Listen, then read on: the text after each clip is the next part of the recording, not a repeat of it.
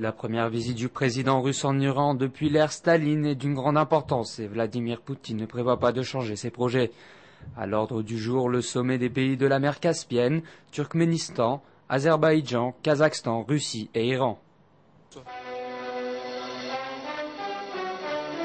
Tout le monde semble prêt autour de la table des négociations, mais nous sommes en Iran et avant de commencer le débat, on entend une prière.